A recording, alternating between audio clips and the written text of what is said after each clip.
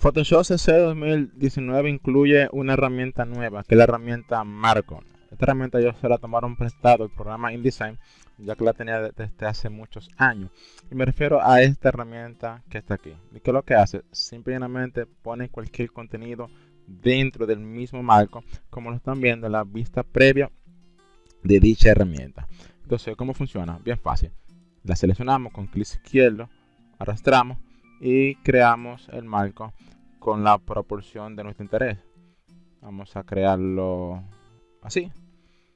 Y como vemos, automáticamente la figura entra en el marco. Selecciono la herramienta mover y vemos ahora que podemos mover la figura dentro de dicho marco. Si le doy un clic afuera, entonces ya ahora puedo mover el marco y ponerlo en cualquier posición, como lo ven en pantalla. Si quiero hacer el cambio, entonces doble clic, 1, 2, y ahí reorganizo otra vez. Otra forma de también crear marcos es usando los textos. Yo puedo crear un texto.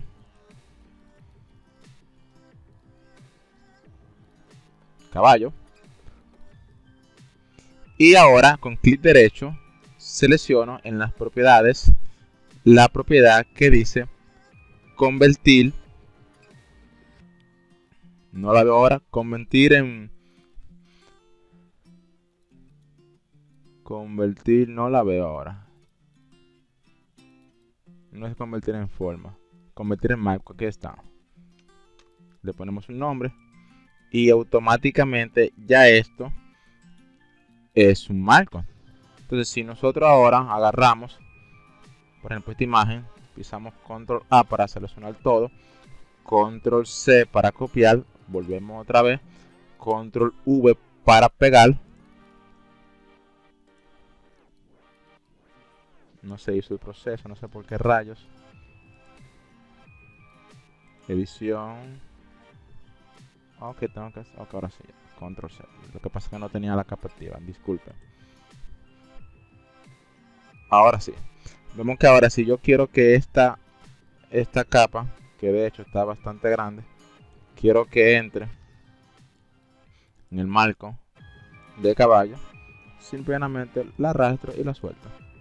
Vemos que ahora